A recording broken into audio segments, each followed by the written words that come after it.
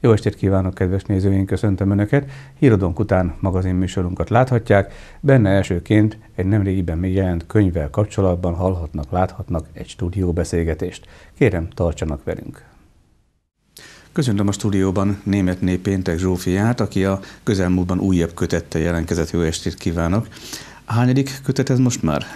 Hát igazság szerint az ötödik, ebből négy a saját szerzemény az ötödiket meg én szerkesztettem, ez volt az első próba, a férjem nagyapjának, ilyen somlókörnéki parasztköltő volt, és annak a verseit gyűjtöttem össze, levéltárba, újságba, és egy kis vékonyka kötetbe azt adtam ki. Ahhoz én írtam a kísérő szöveget, meg én szerkesztettem. Ezek szerint akkor a próbálkozás bejött, bevált, Igen. mert követte a négy, négy Utána más. már magamét ismertem. Ezek a kötetek valamilyen formában helytörténeti, kortörténeti kötetek. Mennyire helytörténet és mennyire személyhez kötődőek ezek? Hát is, is. Mert mese formájában azért is adtam nekik annak a trilógia részeinek a címet, mert végül is tudja az ember, hogy miből áll a monográfia, milyen lábjegyzet, stb. Hát én azt nem tudom hozzá, hogy szakértelem is kellene megoldani, de hát ha mese, hogy már belefér, amit talán gondolattal ki is egészítettem, ami a tény volt. Olyan nem volt, hogy nem létező dolgot, mert az alapja megvolt, néhány évszám, meg hasonló, és mivel mese, kiegészítettem. Ajkán él ugye ön már 40 éve, 4 évtizede, mégis vidhez kötődik, a kötetek egy része is vidről, vidről szólnak. Miért? Miért? Mert az egy halálra ítélt, mindentől távol levő kis falu, aminek múltja van, de sajnos a jövője nagyon bizonytalan. És valahogy én ott kötelességemnek éreztem, hogy legalább abból a múltból emlékeket meg megmentsen, meg, igen. megőrizzen. Igen, ez a mostani kötet, ami most megjelent, Paraszt Sors címet igen. viseli. Kinek, kiknek a sorsával foglalkozik? Hát ez első sorba az édesapám péntek eleknek az életét, de egész életét dolgozza fel, mivel hogy az idén van halálának 60. évfordulója. És meg is volt nekem, mert ezt egy országos pályázaton is díjazott is volt, azt bővítettem ki azért még jobban, mert ott megkötött 20 oldalas lehetett ez a pályázat, és azt bővítettem ki, meg még egyénekről szóló történetek is, de van benne, nem tudom, hogy nevezzem, az a címe Paraszt vagyok, parasztnak születtem. Egy kicsit éles hangú ezt a kritikát kaptam, mert én teljesen kiborulok, azonnal még most is, amikor azt hallom, hogy a paraszt. Én nekem azonnal ökölbe szorul a kezem, mert igenis én kutattam sok évszázadra visszamenőleg a paraszt történelmet, Gazemberek mindenkor voltak, lesznek minden társadalmi rétegbe, de még az egymás erkölcsi tartására is a falu, a közösség ügyel. Tehát az egy roppant tiszteleteméltó társaság, vagy népréteg, úgymond a parasztság, és ha egyszerű ember vagyok, mert az én szavam nem sokkal messze hallik, de mindenkinek tenni kell azt, hogy ezt próbáljuk ellensúlyozni, hogy ne az legyen a legszégyenletesebb dolog, aki paraszt, valóban is paraszt, bár napjainkban már az egyre kevesebb, mert mezőgazdasági gépi munkásnak nevezhetjük legjobban, aki vagy nagy birtokos, vagy farmer, de éppen azért én azt az igazi, hagyományos paraszt életet, aminek megvolt a téli-nyári életmódja, nyáron a mezőn, meg az állatokkal, de télen olyan munkát elvégzett, ami a gazdaságba kellett, már kellett a kosár, kellett a söprű, meg sok minden, azt megcsinálta télen.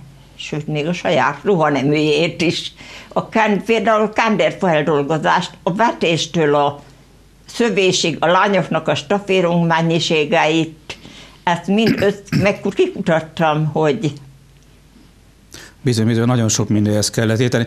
Hadd támasztam alá, amit ön mond, a paraszt, az a földműves, ugye Fekete Istvánál is megjelenik, hogy rendkívül sokrétű ismerettel Igen. kellett, hogy rendelkezzen, és bizony nem úgy van, ahogy egyesek gondolják, hogy hát csak az állatoknak kell adni, enni, és aztán kész ennyi. Rendkívül sok mindenhez kellett érteniük. Ön is említette, nagyon sok mindent kutatott.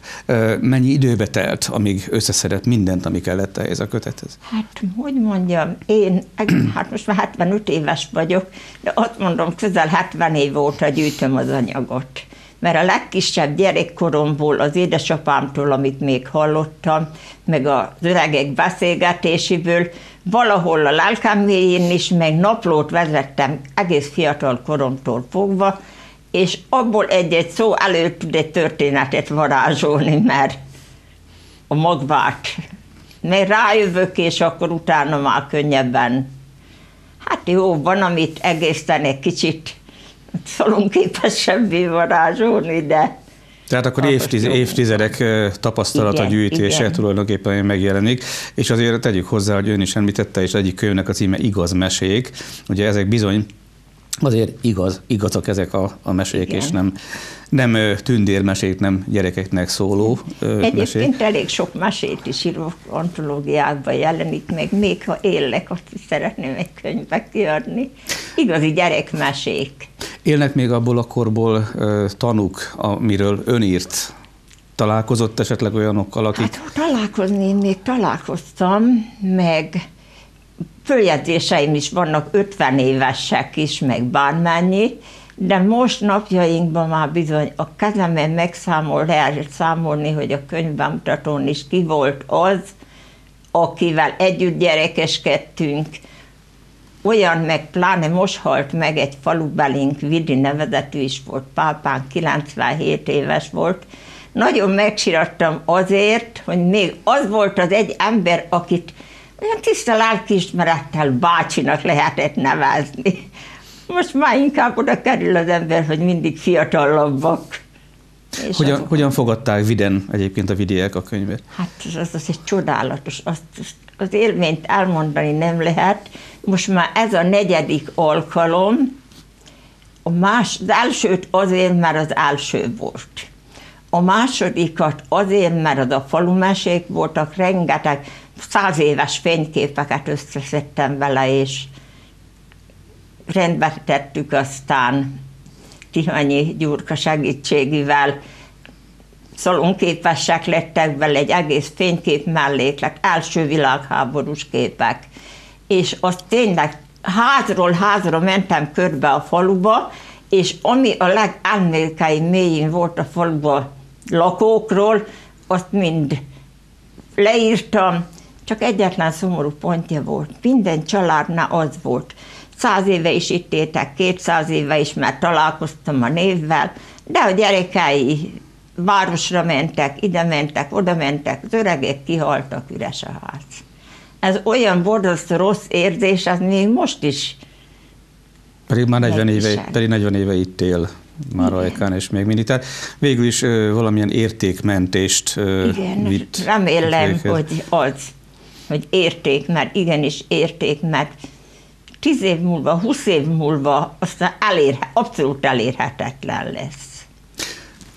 Mi a következő lépés? Említette, hogy ír gyerekmeséket, még valami más, mire készül még?